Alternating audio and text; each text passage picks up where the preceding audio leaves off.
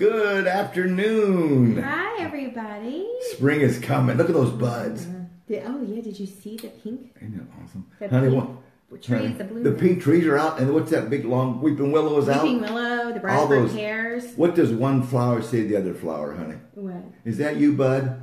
and it's coming. Spring is coming, guys. Mm-hmm. Good to see everybody. Welcome. Hey, something unbelievable happened this week. An icon in the kind of like the Christian Pope to the Christian circles. That's Billy Graham. Went to be with Jesus. I posted 40 of his greatest sayings, and boy, what a man of God he is. As a, you know, being brought up in a Christian home, I I knew Billy Graham more probably as good as anybody. But how he came on TV and, and we watched as a family. And I remember when he came on TV, my dad calling people who aren't who are lost and telling them encouraging them to watch Billy Graham. I posted about my dad in Cleveland would get a bus full of people and go see Billy, and uh, members of our church, who I thought were Christians, but they gave their life to Jesus that day, and how awesome that was, and what a testimony they had, and others, and how much how much fun that was. My mom sang in the choir, and my dad was one of the counselors, but that was awesome.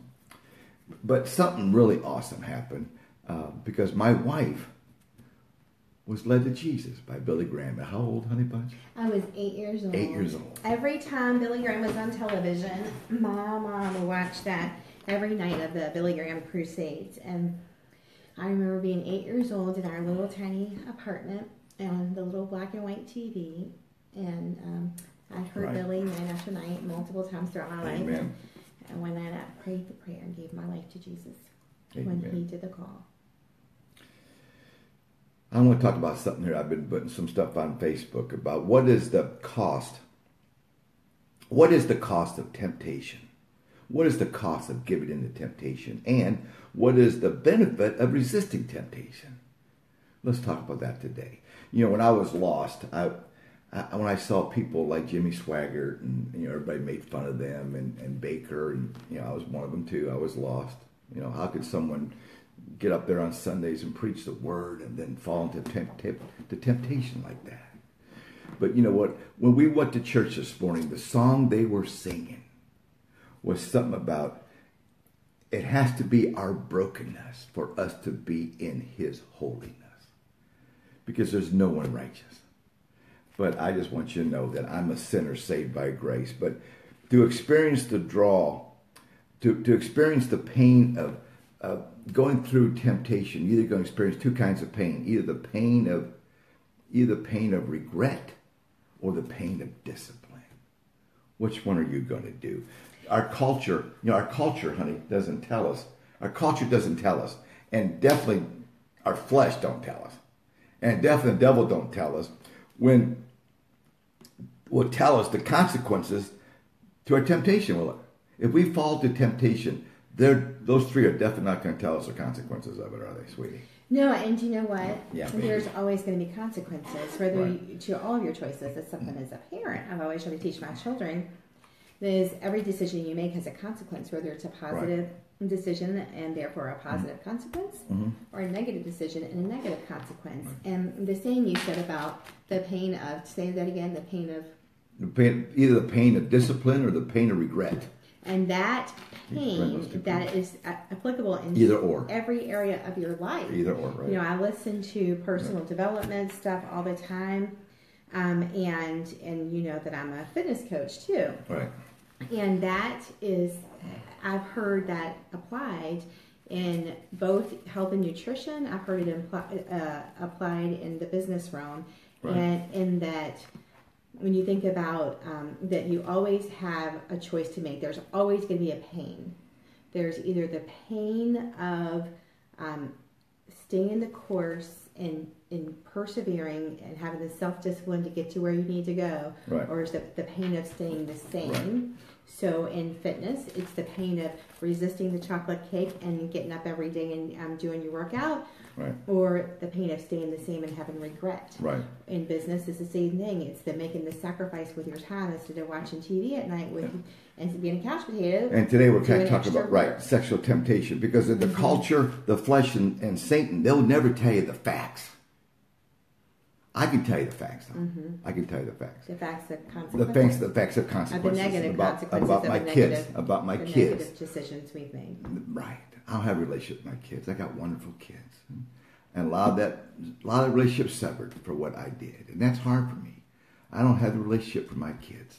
And yesterday I was playing ball with one of them, and you know, I like my dad played ball with me all the way up to was 85, seems like, and I want to be there playing ball for my with my kids. And I, I'm almost blind in this eye. I'm starting to go maybe almost blind in that eye, just starting to. Lord willing, I hope I don't, dear Jesus. But that's the consequences. That's consequences. You know, Jesus, you know, we're saved by grace and our sin is covered under the grace.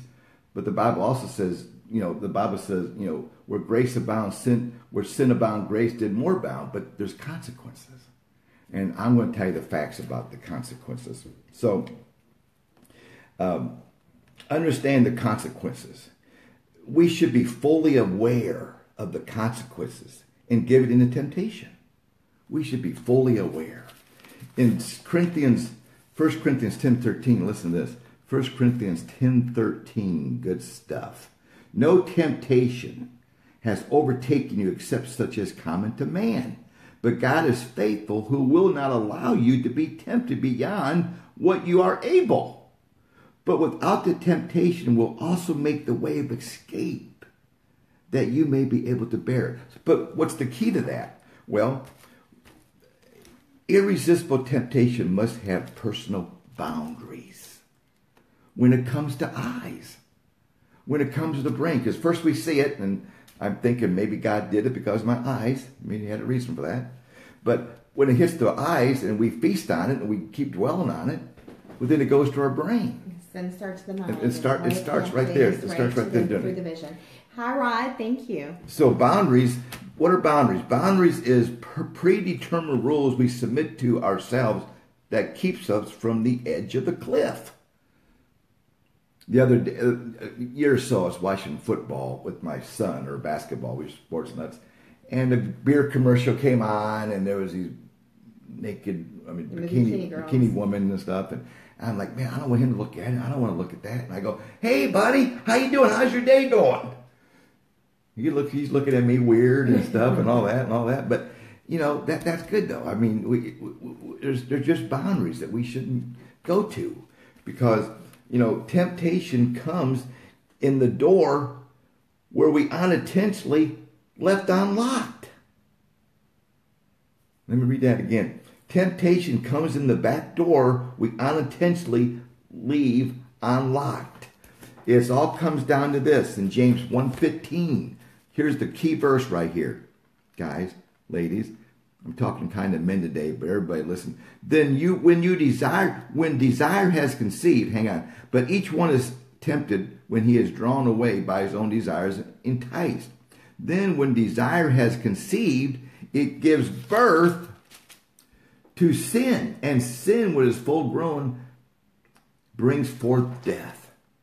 So we can stop it in its tracks. How do we stop it in its tracks? By our boundaries, right? Got a gal guardrail. By with boundaries, which is guardrails. Right. Yeah, that our convictions. Okay. Um, yeah, one more verse I want to tell you here. This is really good. So good boundaries, not left to, not left to gather steam or, or um, you know, the stop it before it goes. Because once it starts, once that once that seed is grown, like I said there in James, like I said there in James, um, you know, um, temptation beyond the will of God, faithful escape. But once that temptation starts, once once that seed is sown, it grows, and we have to be dis. We need discipline, our rules that we live by. Who are you? What are you going? Who are you going to be? God, God's man is not a slave to our appetite, is he? You know, I think of lines, not crossing that line. To me, that line is like a fluorescent. You know, those little fluorescent lights you put upstairs. The fluorescent light in a room. That's that's light. That's fluorescent light. That's the line. I can't cross that line. We can't cross that line, can we? And a fluorescent light, what shines in the in the darkness. It shines in the darkness So and that everything. line is so And we should can- be so clear that everybody can see that. that everybody can see it, so that your friends and your Everybody acquaintances knows. don't try to Everybody knows. Um, they know where your line is, so they're not um, trying to influence you. If your line is so clear, they're not going to try Amen. to influence you Amen. in the so, wrong direction. Yeah, because of Proverbs 19.16, open that, sweetheart. Proverbs 19.16. So Bible says we need rules to protect you, our, to protect us from ourselves. We need our own set of rules to protect us from ourselves. Because uh, Proverbs 19.16, he who keeps the commandments of commandments keeps his soul, but he who is careless of his ways will die. There you go, right there. That's it. That's like stopping in his tracks, run from it, flee from it, like Joseph did. You remember Joseph? He ran, didn't he? He ran. I just thank my thank the Lord for for my for my lovely wife, and uh, we want His mess to be His message. Our mess to be his Our mess. message, Not his amen. mess. Our mess. I hit our mess right. And I, you know, and so those are the ways. Those are we have to use discernment to know what your temptations Amen. are and self-evaluation, and then put those boundaries in place. Right, right. Put those boundaries in place and protect your eyes. Yeah. I, you know, I was listening to Focus on the Family Friday.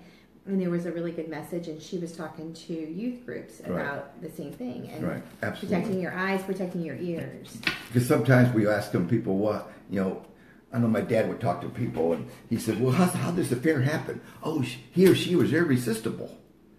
Well, it, after Dad asked him a bunch of questions, it was certain things that led up to that, you know, um, uh, that made that irresistible, where he went past the line. When you walk past that line, amen, honey. Right, but Boy, it's hard to get back. But just back. like um, Pastor Beckton said today, Right. Grove, that, that if you, Amen. like us, have done something and crossed a boundary, and where there are consequences to those boundary, to those, to that sin, but Mm-hmm. God can still use you. amen. My- my- because, because why? Right. Because it was never dependent on us. it's all about always, Jesus. always dependent on Him. We're washed clean by the blood, the redness of his blood, right? We give everybody a flashlight and a pin. Everybody I see, we have a flashlight and a pin, and it says Cracked Clay Ministries, Tim and Veronica Bratton, Cracked Clay. Um, and if you don't live in Richmond, maybe Cleveland, all Wherever my friends all over.